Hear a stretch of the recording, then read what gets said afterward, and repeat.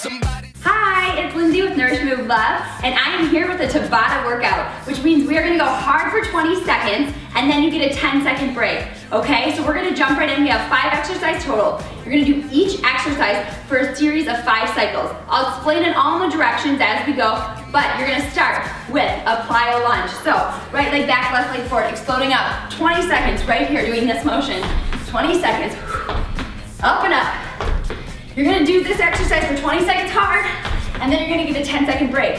You're gonna repeat on the right leg twice, and then you're gonna repeat on the left leg, okay? So then you're gonna do this on the left leg. You're gonna do this move for four cycles, 20 seconds on, 10 seconds off.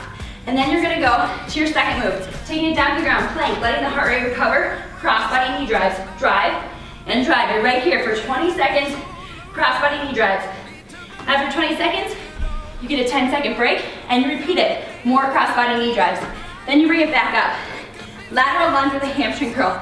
Lunge to the side, explode up and curl. Right here for 20 seconds.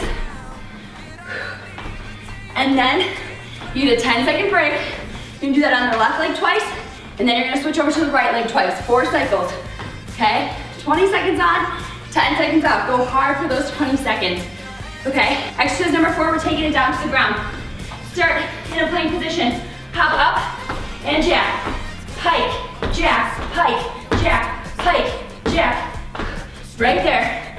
For 20 seconds on, 10 seconds off. Take your 10 second break, and then you're gonna repeat that again.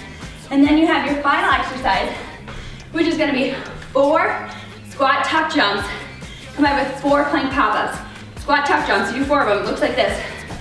One, two, three. Take it down to the ground. Hop up, one, two, three, and four. You're doing that for 20 seconds, 10 seconds off, and then you're gonna repeat this. This is an awesome Tabata workout, you guys. I'll explain more in the directions. Get that heart rate up, cycle through this, 20 seconds on, 10 seconds off.